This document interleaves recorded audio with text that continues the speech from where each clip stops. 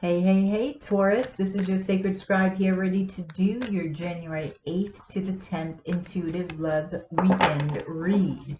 This is for my Tauruses, Sun, Moon, Rising, Venus, Jupiter, and North Node. This will not resonate with everybody, of course, but hopefully you guys can get something out of it today. Please don't forget to like, share, and subscribe right down below there, Taurus, if you would, before you leave.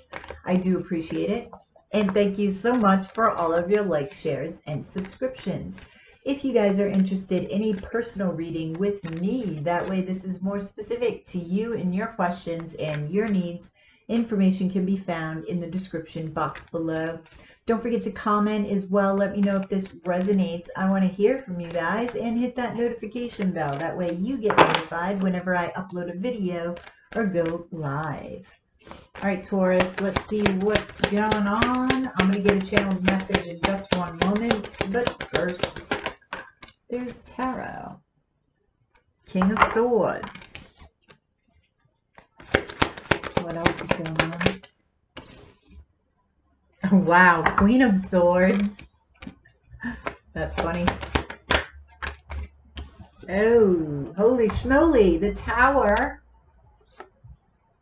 and the lovers. Wow, Taurus. okay. At the bottom of the deck, the Five of Pentacles. All right, Taurus, so let's get this message and see what is up for you, shall we?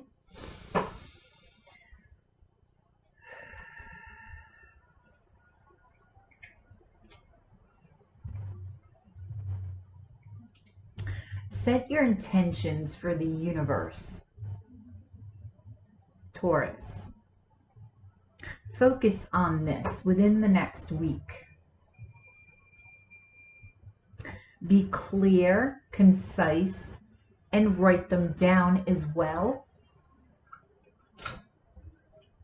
When you write things down, Taurus, they become more real, especially for you. You like the tangible, Taurus.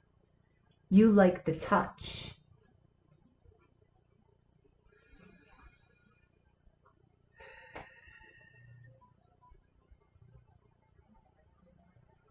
Tell yourself you are deserving of all that you desire. And know it, feel it, because you are.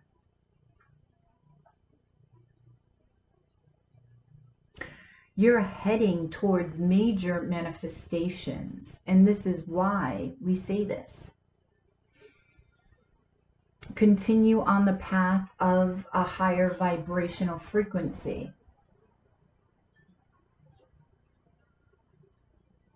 And do your best to remain there. We know nobody's perfect. But be aware of your energy as you go about your day.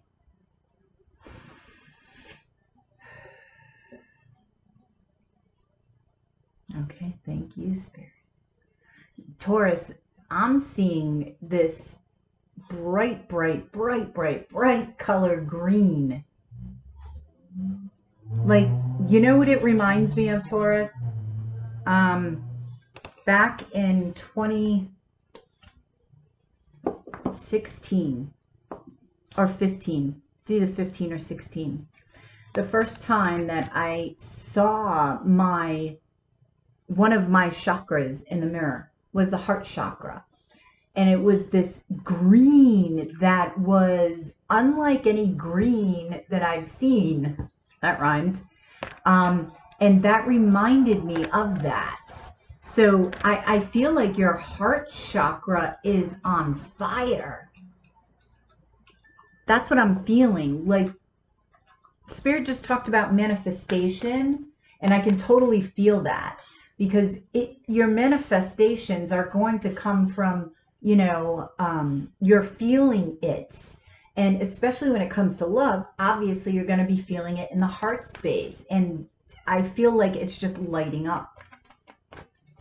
Okay, so what's going on here? Now, you do have love here, and I feel like it's going to be taking you by surprise here. With the lovers, this is Gemini. You can totally be a Gemini with the King of Swords and Queen of Swords here. Very interesting. So let's clarify. Um, scope to clarify here. Tell me about the, wow, King of Pentacles. Okay, what else? This may be an emperor or an empress here. Four of Wands. Seven of Pentacles. Definitely an emperor or an empress is about to enter your life. Tell me the Queen of Swords. What is this? What, what did I just say? The Emperor. Aries, Taurus energy. Ten of Swords. Oops. Sorry about that, Taurus. The Moon. And the Knight of Cups. Wow. Taurus. I'm feeling a, um, a lot of love from this spread. Now, for some of you, it's it's similar to Gemini's in that when you let go of something that you've been hanging on to, boom. I just heard boomerang effect. That's what I just heard. So it's like as soon as you let it go, boom, love's coming towards you. So whatever this is that you're letting go of, I do feel it has to do with love. And this you cannot see yet. It's not it's not in your sphere, not yet. But it's they're headed towards you. Ah, let's see what this tower is. Tell me about the tower. This is scorpionic energy. Ooh, the devil. Dun dun dun. Talk about sexy time. It could be a Capricorn. Three of Swords healing. For some of you, this is somebody from the past that betrayed you, hurt you, lied to you. They're coming back. Not for all of you, but for some of you. Clarify this again. The Empress. Oh my gosh. This is you. For most of you, though, what I am feeling is you're standing in your power. I told you the green, like there's a lot of green in here it's just oh, beautiful green that I just saw. So this is letting go. This is healing, right? This is looking at your shadow side. So for some of you, there's some major epiphanies that are coming.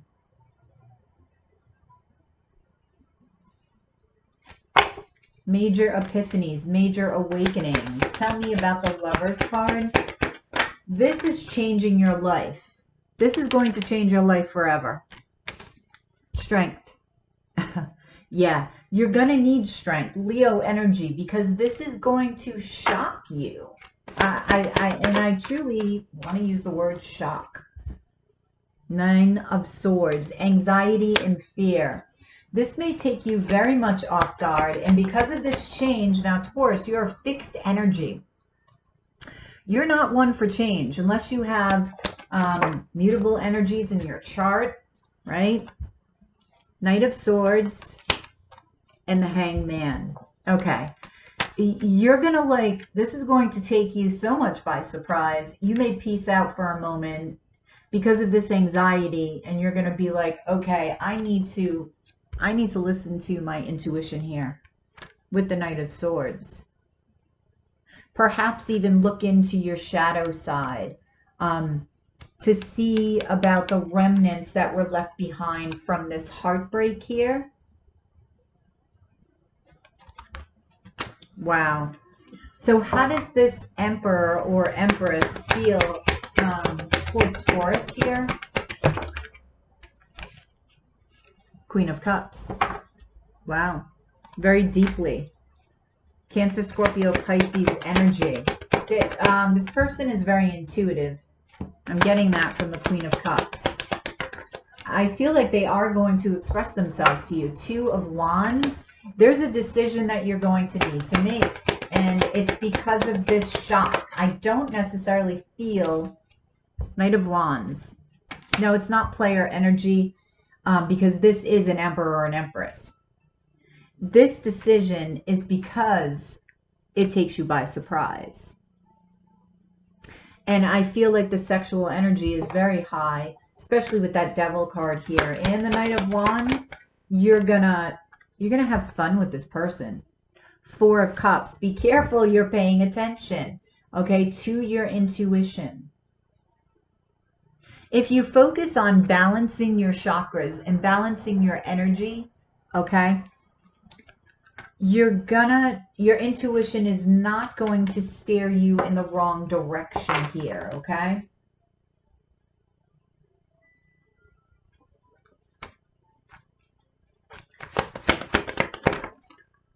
Yeah, this is their intention. The Fool. They want to take a leap of faith with you. Aries, um, Sagittarius energy for me as a reader.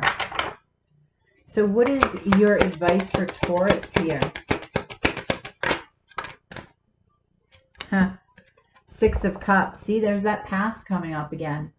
Reminiscing. If you're reminiscing about the past, try to remember the loving memories. Okay, there's no real reason to focus on the negative memories unless you're looking at your shadow side to address something. Okay, but e even then, you don't want that energy lingering for long. Don't avoid the shadow side. Just saying. Okay, so they're wanting you to feel this in your heart space. This is a very childlike, innocent love, right? Six of Pentacles. Be careful with doing too many things at once here. Yeah, Five of Swords and Ace of Wands. They're wanting you to move forward in love here. But be careful of doing too many things. I feel like also in the Ace of Wands, this is about a project a creative project. What's this about, Spirit? Okay, be careful that your ego doesn't get in the way here. You want to do an ego check. And that goes back to the shadow side as it relates to love, okay? The ego tries to convince us of things that just aren't there. Uh, just, just be aware of this, okay? It's at the bottom of the deck. Look at that, Ten of Cups. Yeah, that's that feeling of emotional fulfillment, that feeling of, of love, right? So let's get an advice card. Inspire passion. Life devoid of passion can be boring uninspired, blank canvas that slowly drains the soul. Now is a time to reignite your passions and rejoin life. This is an opportunity to set new goals, which will in turn reconnect you with all that is sacred. Yeah, that's what I was feeling with the Ace of Wands. So this is not only love, this is something that um, perhaps a new project, something that's very creative and gives you energy and sparks you up, I'm feeling. All right, Taurus, that's the uh, that's the sacral chakra, right? The sexual chakra, the creative chakra. All right, Taurus, I hope this resonated. Please drop a like below, share and subscribe if you already haven't. If you're interested in a personal reading with me, that way this is more specific to you and your questions and your needs. Information can be found in the description box below. Don't forget to comment as well. Let me know if this resonates. I want to hear from you guys and hit that notification bell.